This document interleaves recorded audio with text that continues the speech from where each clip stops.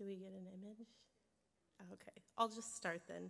I mean, I'm starting with some thanks, obviously, to uh, Antonella of Canyon and Dina of the Lab for being our infrastructure tonight and presenting this program. I couldn't have thought of more perfect partners in this kind of thing, and I couldn't think of a more perfect space to see Kren's films than here. Uh, I've been looking at and thinking about Kren's films in various ways for almost 10 years now. A little depressing. I've traveled to 22 sites in seven countries, visiting archives and doing interviews. I've seen all the films more times than I can count, though I must say I have never watched them in projection with an audience, so I'm very excited for that. Um, I've read the journal where he kept notes. There we are. And worked out his editing scores. I've gone over rental records at various cooperatives in Europe and the United States to see just who has been watching his films. I've had long conversations with experimental music composers about his scores, with filmmakers about his editing techniques, with curators and distribution center directors about the exhibitionary context for work like Kren's since the 70s.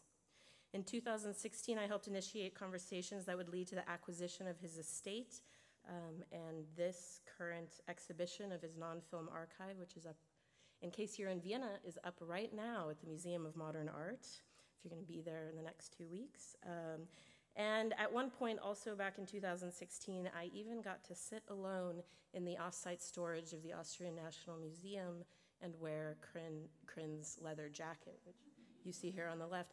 I did not take a selfie because it felt inappropriate. Um, but I sat there wearing the jacket and reading letters from his then wife, Marnie, which you see on the right. It's, it's weird, I know. It's a little fangirl, possibly trollish. All of those things are true. Um, but I share all of this just to give a sense of the range of ways I've gotten to know and literally wrapped myself up uh, in Kren's life and his practice over the years. So this is an amazing uh, privilege to be able to do this tonight. And here we see Kren at his last retrospective, which was um, at SFAI 20 years ago in 1998, just a few months before his death. But for as much as I have thought about and looked at Kurt Kren's films, I have to give a special thanks to my co-curator, Tooth, whose deeply poetic ways of seeing in general have helped me to meet Kren's practice anew and I hope my talk tonight can offer that same gesture of seeing Kren's practice anew to those of you here who maybe know his work already, and I'm going to try to offer some buoys for those of you not so familiar with what's a very, very dense practice. So just to give a little bit of the lay of the land, I'm going to talk for about 35 minutes. Sorry, it was three seconds and then 35 minutes of me. Um, and I'm going to talk about a lot of different films in depth. I'm also going to reference some films and not talk so much about them. And the reason I'm doing this is to give a, a sense of how to engage the ideas I'm talking about across. So it's not just one or three films or something like this. Uh, and the ideas are in two interrelated spheres. The first is what I'm calling the life of film uh, which proposes ways of thinking about Kren's practice as a mirror um, onto the worlds, and I mean that spatially, discursively, and representationally, of non, anti, and counter institutional cinema. Uh, his films immerse us in the infrastructures of a cinematic apparatus. Its screening spaces, movie houses, makeshift movie houses like this, its projectors, its screens, its distribution strategies, its press practices, and so on. Um, and in doing that, the films plunge us into the many complicated and often convoluted ways in which these components of the apparatus were performed otherwise in the underground scenes through which Kren himself moved between 56 and 96. We are in the thick of it, the infrastructures that is, and we are surrounded. The second sphere of ideas I'm going to talk about tonight, films of life, picks up on these ideas of being surrounded and in the thick of it, offering a, a kind of reading of Kren's famed editing techniques, which I'm sure we're going to hear more about this weekend. But I'm going to offer a reading that's actually about deferment and refusal. Uh, in the thick of it, as Kren described in a Q&A at the Pacific Film Archive in 1980, is, quote, where swimming begins, end quote. Part one, the life of film.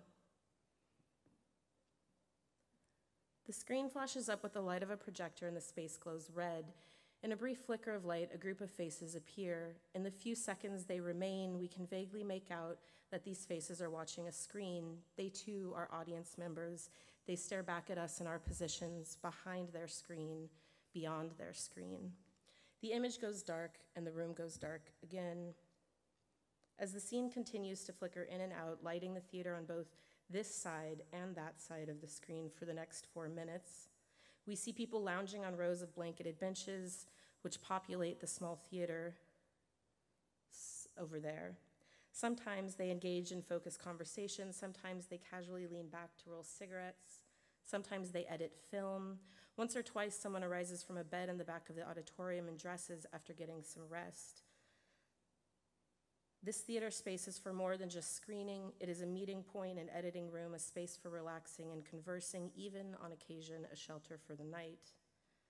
At another point in the film, a man engaged in conversation cuts onto the screen in the foreground. He looks directly out, for him at the projection screen, for us at the camera. Another co op member, a few seconds later, raises his forearm in a gesture towards it, towards us, maybe. After lighting a cigarette, he leans back, stretching his arms upward and outward in what appears to be some sort of measure of scale, a measure of a kind of expanse. Is he gesturing towards the camera, towards film, towards the person behind that camera, maybe? Towards the screen that is projecting his recorded image, or possibly to us on this side of the screen? Just what exactly does that outstretched gesture include in its grasp?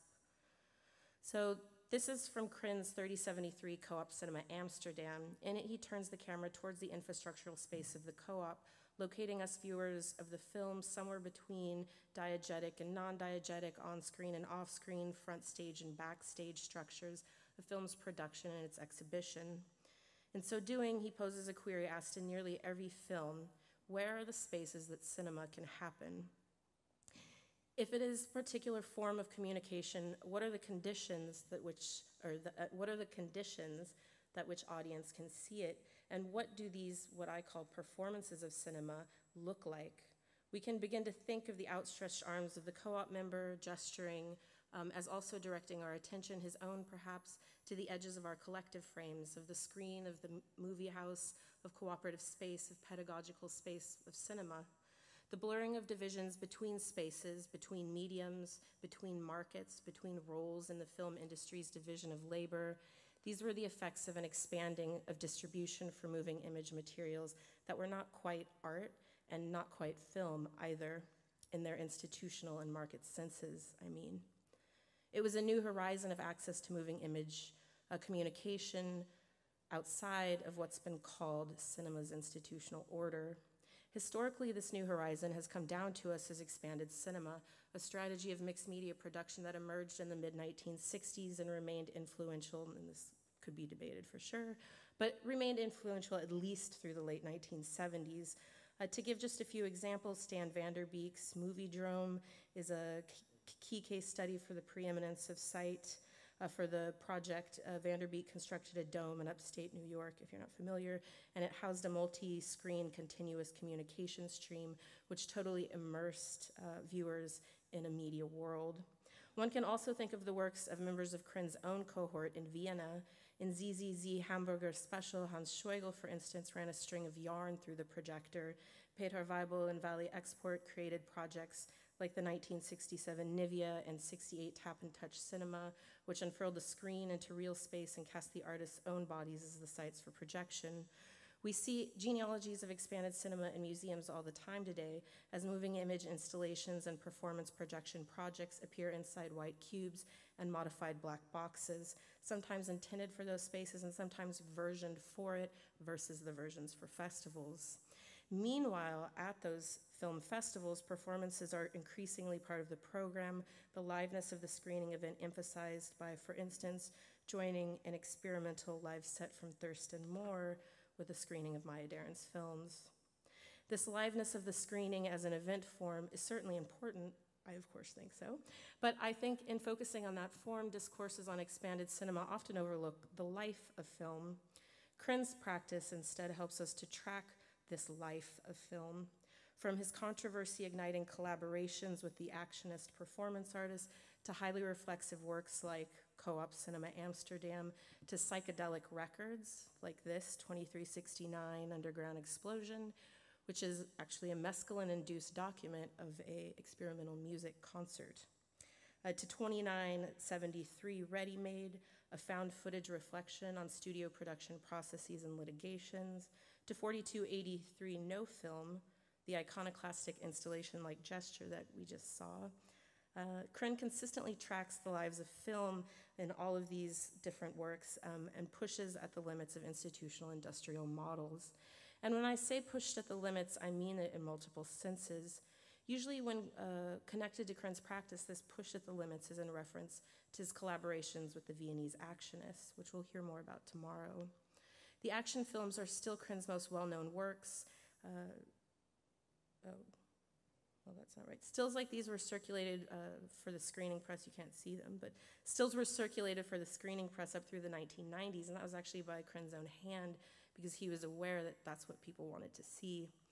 Uh, the action films have made it into survey textbooks on 20th century art and framed by narratives of post war catharsis. They are go to examples uh, for studies on performance and documentation, uh, especially since the 1998 Out of Actions exhibition that brought renewed attention. Um, in this performance and documentation context, they push at the limits of liveness and discourse. Another standard context Kren's films are understood to push limits in is within uh, body art traditions. He became particularly important during the rise of 1980s body art practices, his films often screening alongside the film and performance work of figures like Diamanda Galas and Nan Goldin. Additionally, the action film's influence on canonical Los Angeles-based artist uh, Paul McCarthy was significant in, in the development of McCarthy's practice. And actually, if you want to find it, I think it's available online. Uh, McCarthy's 1979 interview with Kren is one of the best interviews that exists out there because Kren was a man of very few words. Um, in relation to these kinds of body art practices of Galas or McCarthy, or, uh, Kren's works stand as early examples of pushing at limits of a normative body politic, and it's historically accurate. They did do that. In the 1960s and 70s, long before he came here to San Francisco, Kren's films were confiscated in Vienna and in various cities around West Germany. At one point, their seizure in a massive raid in Bavaria prohibited the reel's availability for a retrospective program scheduled in uh, North Rhine Westphalia, and the retrospective was subsequently canceled. Uh, the, the, this pushing at limits of the state body politic had a direct impact on Kren's career and the ability of his work to circulate. So, shitting on screen, sorry, spoiler alert, uh, was definitely one level of pushing at limits, and there is quite a lot to talk about when it comes to on screen decency debates around the action films. A work like this, 1667, uh, September 20th, remains much contested, if no longer legally, then culturally to this day. But for me, what makes this gesture potent, uh, beyond the scatological shock, is when I think of it next to a film like 2973, Ready Made, uh, subtitled Three Letters by Marx or the Terror of Media. In 2973, Kren appropriated footage from a Westdeutsche Rundfunk television documentary on the classic 1942 Hollywood film Casablanca, uh, for which he had been hired as a talking head these, of course, are some of the amazing images we have in store in our cake. Spoiler alert. In the footage, Kren reads letters written by Groucho Marx to Jack Warner. So here's the first page uh, from the original English version. The subject of Groucho's text is the cease and desist order Warner Brothers had had issued against the Marx Brothers' 1946 A Night in Casablanca, which is a spoof on the classic uh, film, Hollywood film.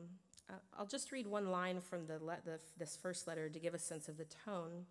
Quote, I just can't understand your attitude, even if they plan on re releasing the picture. I am sure that the average movie fan could learn to distinguish between Ingrid Bergman and Harpo. I don't know whether I could, but I certainly would like to try. End quote. So the WDR documentary project was abruptly abandoned once production was completed and the film was never aired.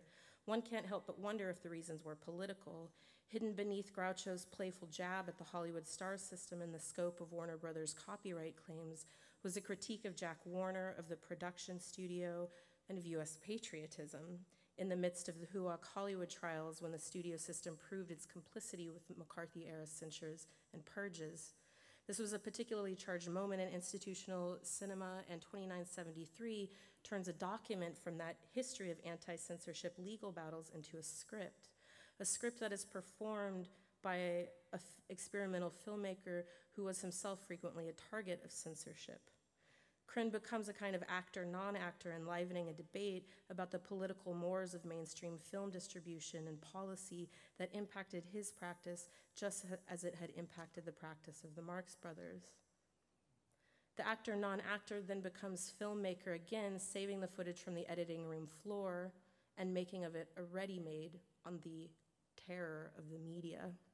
Not unlike Duchamp's ready-mades that famously expose the contingency of the meaning of art on its institutional contexts, Kren exposes the contingency of the category of film on its context, particularly in this case, its context of studio production and the entrenched policies of such a system within both state and commercial markets.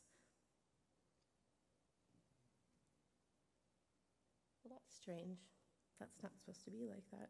Uh, so for me, uh, the pushing at limits in works like 2973 Ready Made or 3073 Co-op Cinema Amsterdam key us into the blind spots of historical accounts of expanded cinema and its supposed partner slash forerunner, its unclear experimental film. In actuality, these two categories are incredibly porous, and current rather narrow accounts of the expanded arrest the incredible energy unleashed within experimental film by the filmmakers' cooperatives and the new forms of thinking about the institution of media and communication, like those captured in Kren's Ready Made, and new forms of making events, like those we saw in the Co op Theater in Amsterdam. The expanding of cinema I'm interested in, Kren's films engaged again and again, changed not only in aesthetic form, but transformed the ways that distribution and exhibition were understood in the arts.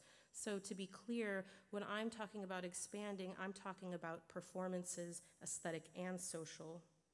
As Annette Michelson, may she rest in peace, articulated in 1966, speaking of film as radical potential, at stake is the matter of when a medium becomes industry and under what terms it does so. What even seemed possible changed dramatically when the filmmaker, or with the filmmakers' co ops, when non institutional films were available for rental, when distribution catalogs culled together in one place the huge range of moving images that were not narrative or narrative in non feature length ways. I mean, it's weird for us, I get it, but just the idea of a distribution catalog was a huge deal. Uh, also, when film screenings started appearing or reappearing really as self aware and self made events, which staked out different kinds of spaces where bodies could gather. Uh, when films like Kren's could circulate beyond their immediate locales, there should be a picture here, like the Church Gallery uh, in Vienna, where uh, they first, uh, where his films first screened in 1961.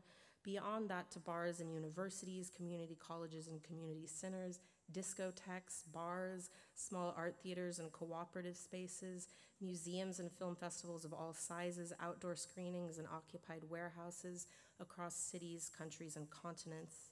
Like the outstretched, oh, good, we're back. Like the outstretched embrace of the Amsterdam co op member, Kren's scope of reflection on these changes was expansive. He filmed photographs and slides and people at media events people looking and people taking photographs and posing for photographs and film critics. And he used outtakes from commercial productions and recorded film crews on break. And the list I could keep going, but you hopefully get it.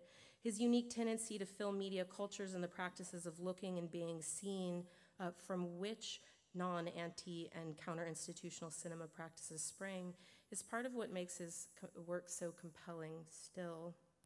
Taken cumulatively, the works uh, held a mirror up to the kinds of things that became possible in market formation and social relation when limits were pushed in infrastructural ways, when producers imagined themselves as distribu- distributors and vice versa, rebuilding communication infrastructures and the perceptual encounters they stage from the ground up, infrastructures which were, and I would add still are, adjacent to rather than synonymous with institution and industries of art and film. These performances of cinema, or what I'm thinking of tonight as lives of film, are what Kren keys us into. It was also from within those lives of film that Kren reflected upon the nature of communication and perception, those relational processes that constitute life. Part two films of life. The other point I'll make tonight has to do with this. Uh, so, from Electric Cinema, the space that was occupied by the Amsterdam Cooperative, which brought Kren, um, and that's where 3073 came from, let's return to the House of Film and Kren's restless place, if not inside, at least on the property now. Perhaps it was always a difficult fit, for as uh, filmmaker Taka Iimura wrote in 1969 of Kren's work, quote, it would be better called reflected picture, which is a direct translation in Japanese than to call it motion picture in English. Iimura, I think, is onto something here about Kren's and his film's capacities for reflection. They seem not to perform the cues of film's motion picture status, even as they may take up narratively loaded content and sometimes be in such fast motion that we can't actually understand what we're seeing. The ways he chose to reflect spaces and people and histories inundates us. We're in the thick of it. Leave, and he leaves us awash with complicated filmic rhythms and often intense visual content that floods the perceptual system, visually and conceptually. The idea of rude and playful shadows haunting a house, dashing through its rooms and ruffling the curtains and bed sheets, its built in projection screens, seems to capture something of the kind of frenetic reflection Kren used. He was, of course, not alone in his inquiries into perception. That's a hallmark of experimental film. But in Kren's work, this inquiry involved a deeply ethical set of questions, questions which still haunt the house of film. In the midst of the jarring visual experiences of his work, we are presented with the overwhelming task of reflection on communication, on the fraught processes of bringing structure to our experience, and on the ethics of bearing witness. For Kren, films of life were inquiries into the nature of identification and, in a Levinasian sense, recognition of an other. Now, this is a different orientation to existential thought. Rather than action as the basis for existence, it centers recognition and the processes of interpolation into subjecthood. And I think in the faces of even some of his closest collaborators, Kren's practice rudely and playfully resisted a centering of the self action so familiar from other experimental film, like, say, from his friend Stan Brakhage, as well as from almost every performance practice we can think of from the 60s and 70s. Instead, Kren's films were experiments into ways of seeing, of recognizing, and reflecting upon the social relations involved in seeing, in recognition, and the cultures which uh, gave rise to these kind of relations, both inside and outside the regimes of visual culture, from co ops to art performances to Hollywood studios to newsreel imagery, so we can see Kren's interest in ways of seeing in his very early 260 uh, 48 Kopfe aus dem Szondi test. Uh, the four and a half minute film systematically records the facial features of 48 heads, characteristic of antisocial and delinquent behavior, or characteristic of that according to a 1935 personality test that was developed by this guy, uh, Leopold Szondi. 260 is an icon of experimental film. It was the first of Kren's works to use the mathematically precise editing techniques for which he is known. And its repetitive close up structure, I would add, engages us in the dubious histories of xenophobic ideology built upon representation, and in particular, the frenzy of the visual that accompanied the emergence of moving images in the first place. What do we see when we look closely into the eyes of the 48 Szondi heads? Or, to switch gears a little, alternatively, what do we see when we look into Reagan's face as it twitches and glitches on Kren's television screen so seemingly far from us in 4384 1984? The stakes of recognition were especially reflected in war films like 2068 Schatzi and 2470 Western, Both works methodically record the surface, surfaces of the images of atrocity. In 2068, Kren films a photograph found in a friend's attic. The image shows a military officer of unknown nationality, though, though presumably a member of, the, of Nazi Germany's Schutzstaffel or SS paramilitary group. The officer stands with hands folded behind his back as he surveys a field of bodies. He faces away from the camera. His identity and affect is obscured as those bodies that are laying around him. Using a permutation based editing structure, the three minute film twitches between positive and negative prints of the photograph, haunting the spectator with its brutal frankness. Similarly, 2470 Western haunts us, but now with well, what was then a more recent image from the ongoing Vietnam War and its representation in protest culture of the time. In the film, 2470, Kren records an anti Vietnam War poster produced in New York by the Art Workers Coalition, uh, which reproduced a photograph taken by the Army photographer Ronald Haeberle of women and children massacred in the US led My Lai invasion. In the poster, the photograph is framed by the text Q and babies, A and babies. The words lifted from a television interview enclose the image, bleeding into it and staining the scene red. Kren takes us into the violent scene, but as Malcolm Le Grice described in 1975, quote, the, close, the closest Kren comes to, a simple, to simple political content and direct reference uh, to the underlying image, uh, the recognition of the image is withheld. In Western, it's done by an exploration of the poster in such extreme close up that it is again the surface rather than the message which forms the dominant experience. The ambivalence, first choosing the material for its connotations, then denying simple interpretation by withholding early or at any stage certain recognition, is evident through the irony of a formalist presentation of emotionally loaded images. At the same time, the irony is not a satire, it's a device for confronting the viewer with a complex response, even where simple condemnation would otherwise suggest itself as self evident reaction. End quote. So, as in the acclaimed uh, action films of the mid 60s, or 48 Kopfe, or later in his silent recording of Reagan, Kren's close ups in 2470 Western radically decontextualize the image and focus on, their, on the surfaces of the bodies, their gestures, their expressions. Short circuiting intended responses. Spectators, witnesses to the poster, are meant to abhor the gruesome scene and be moved by moral outrage of the thought of even babies. But what are we supposed to feel when we see 2470 Western? It, like 2068 Schatzi, experiments with the limits of that union between experience and structure, reflecting on the ethics of seeing what is seen and how it is seen through the camera and also through the lens of media communication cultures including those of activist cultures. The suspension of identification, what Le Grice called ambivalence in Kren's two war films, and in his other films, I would suggest, is not so much directed at the content, but at those systems of representation through which these histories, images, bodies, and faces move, and in which they take on functionary ideological valences or messages. The suspension of identification was a kind of refusal, a refusal of the identification both of and with the images. And these refusals were pervasive, whether the identification be with the bodies of the performers of an, in his action films, or the faces of those in Szondi Test or Reagan, or the bodies of both perpetrators and victims of war and state violence in Germany and Vietnam, or even the bodies of those co op members in Amsterdam. Sometimes it's more difficult for us to get behind his refusals, like perhaps in 2470 Western.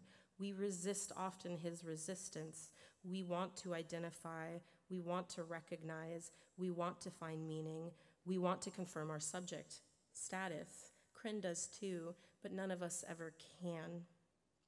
The close ups and rapid cut editing structure appear precise, and yet the rhythm and yet the rhythms they introduce produce no meaning. In 1567 Tefau, for instance, the precise mathematical structure was based on the rhythm of a child's nursery rhyme. These structural kinds of refusals became increasingly emphatic uh, once he was in the United States. During the 1980s in Texas, when Kren worked as a museum guard, um, when Kren worked as a museum guard, um, he produced a series of rubber stamps and Polaroids conceived around the notion meaninglessence, a term he created to mark a kind of theoretical position. Meaninglessence combine meaning and essence in a Venn diagram like formation in which they share a less or a without. From turns of phrase like this, to Surgeon General's warning, to vernichtet or destroyed, the stamps are irreverently tongue in cheek. They combine Kren's refusal with an ethos of quick distribution from the zine cultures in which he was increasingly absorbed. Each thing Kren stamps touched, even a mailing envelope, turned into a kind of refusal. You could see the downward spiraling airplanes here, for instance, negating the Par Avion post. His refusals are take up a kind of a, a punk position, and yet also, as the title of this retrospective signals, and it's also the title of a 1979 film by Kren, it's also sentimental, but the sentimentality here is not saccharine. In fact, in 2068 Schatzi, Kren calls out that kind of mawkish nostalgia, pairing the German term of endearment, uh, sweetie or darling, with a photograph of killing fields. The sentimentality in Kren's films is related back to that existential search for recognition and identification that is always, frame after frame, suspended and deferred. Films of life in this sense are not so much scenes of life, though the personal, cultural, and geopolitical scenes that constituted Kren's life certainly make appearances. But by life here, I'm referring more to those processes and systems that organize our perception in the face of an other.